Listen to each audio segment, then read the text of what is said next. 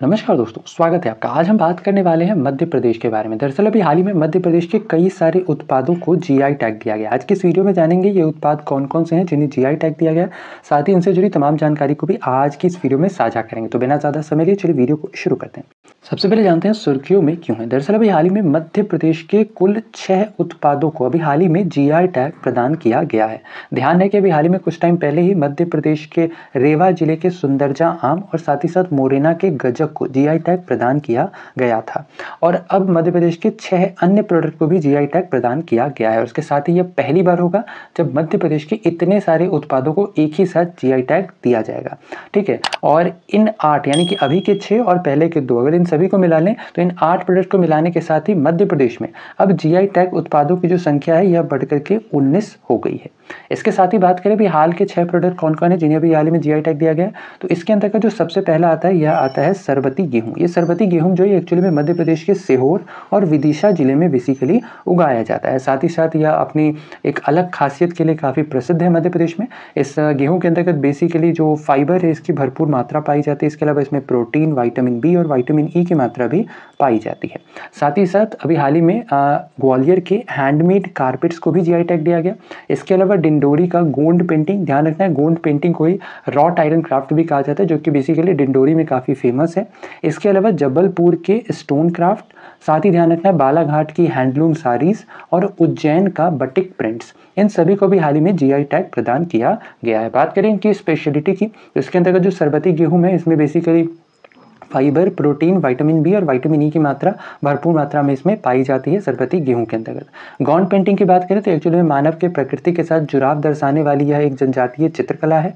हस्त निर्मित कालीन की बात करें तो इस कालीन पर बेसिकली पशु, पक्षी और जंगल के दृश्यों का, को यहाँ पर रूपांतरित किया जाता है। इसके साथ ही साथ लौह शिल्प की बात करें तो इसके अंतर्गत बेसिकली लोहे को गर्म कर उसे पीट पीट करके बनाई जाने वाली यह एक प्रकार की शिल्प है। और आखिरी आता है पत्थर शिल्प जिसमें भगवान की मूर्तियाँ नकाशीदार पैनल, सजावटी वस्तुएँ और बर्तन इसके अंतर्गत बनाए जाते हैं।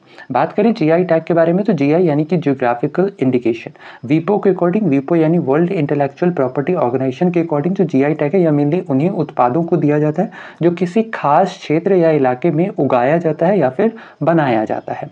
इसके अलावा ध्यान रखना है, भारत में जीआई टैग की शुरुआत वर्ष उन्नीस के रजिस्ट्रेशन एंड प्रोटेक्शन एक्ट के तहत की गई थी। साथ ही भारत का पहला प्रोडक्ट जिसे जीआई टैग दिया गया, यह था दार्जिलिंग का चाय। दार्जिलिंग का चाय पहला ऐसा प्रोडक्ट था जिसे भारत के अंतर्गत जीआई टैग दिया गया था। इसके साथ ही ध्यान रखना, जब भी किसी प्रोडक्ट को जीआई टैग दिया जाता है तो उसकी वैलिडिटी यानी उसकी वैधता जो है, यह बेसिकली दस सालों तक की होती है। हालाँकि बाद में चाहे तो इसके वैलिडिटी को एक्सटेंड भी किया जा सकता है। अब बात करें भारत के अंतर्गत जीआई टैग बेसिकली किन किन प्रोडक्ट्स को दिया जाता है तो भारत के अंतर्गत जो जीआई टैग है, यह मेनली तीन प्रोडक्ट्स को दिया जाता है। एक तो होता है एग्रीकल्चरल प्रोडक्ट यानी कि जो खेती से जुड़े उत्पाद होते हैं, उन्हें जीआई टैग दिया जाता है। दूसरा होता है हैंडीक्राफ्ट हैंडीक्राफ्ट यानी कि बेसिकली हाथ से बनाए गए जो भी प्रोडक्ट्स होते हैं, ठीक है? उन्हें भी जीआई टैग दिया जाता है। जैसे आप देख सकते हो चंदेरी साड़ी, ठीक है? इसके अलावा मैसूर का सिल्क तो बेसिकली इन सभी को इसके अंतर्गत जीआई टैग दिया जाता है। और तीसरा होता है फ़ूड आइटम्स किसी खास प्लेस का कोई खास फ़ूड आइटम है, ठीक है? जिसका ऑरिजिन उसी प्लेस पर हुआ है तो उन्हें भी जीआई टैग इसके अंतर्गत दिया जाता है। तो ध्यान रखना है, तीन आइटम्स को बेसिकली जी टैग दिया जाता है। एक तो होता है एग्रीकल्चरल प्रोडक्ट